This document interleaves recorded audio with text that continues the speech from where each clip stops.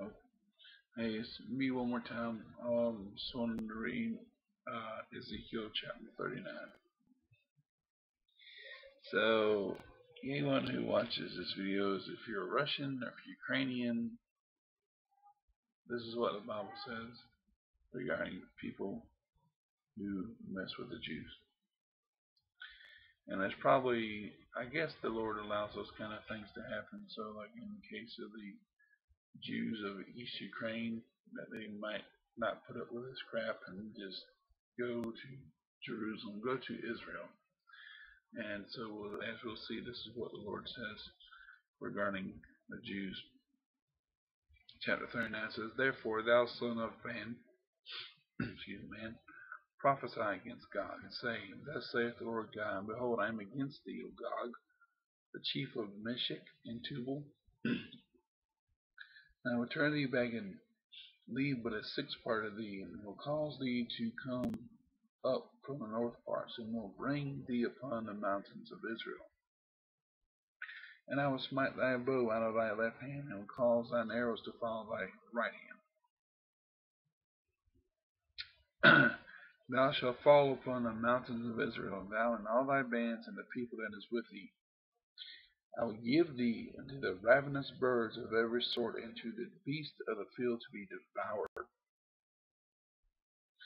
Thou shalt fall upon the open field, for I have spoken it, saith the Lord God. And I will send a fire on Magog, and among them that dwell carelessly in the isles, and they shall know that I, I am the Lord. So will I make my holy name known in the midst of my people Israel, and I will not let them pollute my holy name any more. And the heathen shall know that I am the Lord, the Holy One in Israel. Behold, it is come, and it is done. God's word is sure. God's word is, when God says something, you can count on it to be done. It is a sure thing. God's word will not return void or empty. He speaks of those things as if they were from the, even the past until now. It is done, saith Lord God. This is the day whereof I have spoken. And they that dwell in the cities of Israel shall go forth and shall set a set on fire and burn the weapons, both of shields and the bucklers and the bows and the arrows and the handstaves and the spears, and they that shall burn them with fire, and they shall burn them with fire seven years, so that they shall take no wood out of the field, neither cut down any of it out of the forest, for they shall burn the weapons with fire, and they shall spoil those that spoil them. If you look back in chapter 38 of um, Ezekiel, and you see in chapter 11, excuse me, uh, 13, it says, um, says, Sheba and Dedan and all the merchants of Tarshish with all the young lions thereof shall say unto thee, Art thou come to take a spoil? Hast thou gathered thy company to take, to take a prey? To carry away silver and, to, and gold, and to take away cattle and goods, to take a great spoil? Here's the answer right there. Evidently spoiled them or trying to take a spoil rather, tried, tried. And they shall spoil those that spoil them, and rob those that rob them, Lord God. It kind of reminds you back in Esther, whenever the king gave a commandment, because of Esther and Mordecai, to allow the Jews to defend themselves. Uh, see here. And it shall come to pass, verse 11, in that day in that day, that I will give unto Gog a place, a place that over the, a place there of graves in Israel, the valley of the passengers on the east of the sea. And it shall and it shall stop the noses of the passengers, and there shall be they that bury Gog and all his multitude, and they, they and they shall call it the valley of Hamon Gog.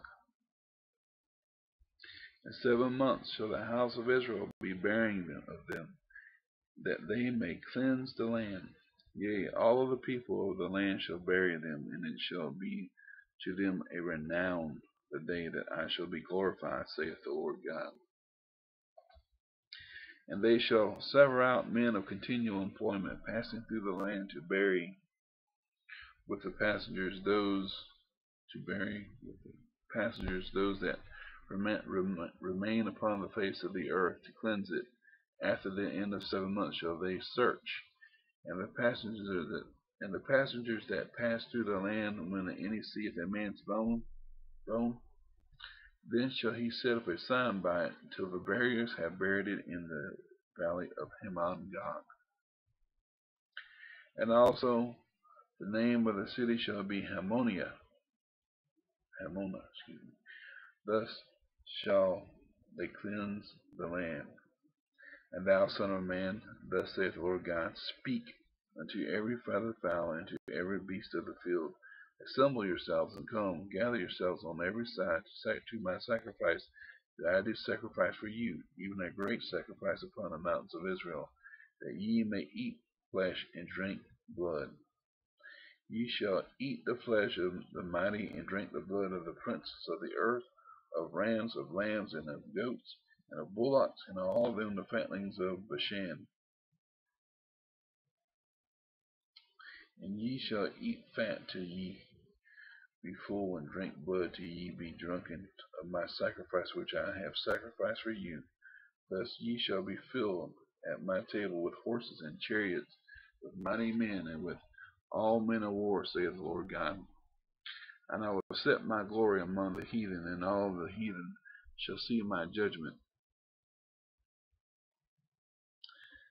that I have executed in my hand that I have laid upon them.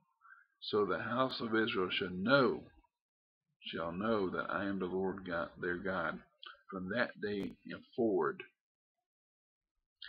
And check this out, and the heathen shall know that the house of Israel went into captivity for their iniquity, because they trespassed against me. Therefore hid I my face from them, and gave them into the land of their to the hand of their enemies. So fell they all by the sword. So we're going to know without a doubt. That's why the Holocaust was here, and that's why it was this diaspora and all these other things. That's why the part of the tribes of Israel went into Assyria, part of the tribes went into Babylon. We're going to all the nations will see and know that Jew, the Jews, that the people of Israel trespass against the Lord. That's why He sent them into the lands. We already know that as Christians. It's in the Word of God and history itself should know it. I mean, it's as plainly as you see on on the um on USA Today. It says that the Jews were scapegoats. Why are they scapegoats? Because they, I mean, all the nations of the world pick on them because why? Because they're God's people. Why? Because they went against God's word, and so God punished them. Should be obvious to us now. The word of God should be obvious to us, rather. History as a thing of repeating itself. For those who don't learn from it, we have a thing where it repeats itself over and over again. God's history, He repeats Himself because why? Because we, number one, we need to know it. Number two, we don't learn from it. But anyway, I know that doesn't make sense to some people, but think of it. God keeps saying what He's saying throughout all of history, even with with that, without not going into the Bible, so people will learn. With the Jews, what happened to them, even outside of the Bible, everything is connected to the Bible. Our world history is connected to the Bible. The Bible is a connection. The Bible tells tells all about it. No, it doesn't say everything about China and Japan and all that other stuff, India, Australia, and all that other stuff, but it mentions the nations. I mean, it doesn't tell about their history. But um, it tells, you know, from the time of Noah up until that part of history. But um, it doesn't go into depth of detail about American colonization. The most important parts we need are in the Word of God. But um, it's obvious now. It should be a remarkable um, thing of be, being obvious that God has taken these nations and shown us through His Word that what he said is true and right and can be relied upon. There's no excuse for not believing the Lord Jesus Christ for our salvation. None whatsoever. There's no excuse not knowing that the Jews are God's people. None whatsoever. There's no excuse not knowing that God punished them for their disobedience. And now he's called them back to be a special, particular people, peculiar people, rather. And we ought not to mess with them. Because there's God's special treasure. And those who love the Lord for what he's done for us on the cross, we have a special treasure in Jesus Christ. So be careful how you treat the Jew. And even also too, be careful how you treat God's people. Christians, whether they're Jew or Christians. Because you have to answer for it one day. Every knee will bow, no tongue confess. Jesus Christ is Lord. To the glory of the Father. And where was I? Uh, let's see here. It says, according to their uncleanness and according to their, chapter, verse 24, to their transgressions have I done unto them, and hid my face from them. Therefore, thus saith the Lord God, now I'll bring them again, now will I bring again the captivity of Jacob, and have mercy upon the whole house of Israel, and will be jealous for my holy name. After that they have borne their shame, and all their trespasses whereby they have trespassed against me, when they dwelt safely in their land, and none made them afraid. They're pretty courageous people. When I have brought them again from the people, and gathered them out of their enemies' lands, and, am sanctified in them in the sight of many nations, in the sight of many nations, and many nations see that right now, then shall they know that I am the Lord, that I am the Lord their God which caused them to be led into captivity among the heathen, but I have gathered them unto their own land, and have left none of them any more there. It says, and have left none of them any more there. That's probably why this thing is going on with Ukraine. Basically, to run the Jews out. And for whatever Jews stay, they're going to be miserable. Because they have to have this little section of a government that's wanting them to register and pay fifty dollars, I think it is, to register property and family and everything else. It's just like World War II. It says, Neither will I hide my face any more from them, for I have poured out my spirit upon the house of Israel, saith the Lord God.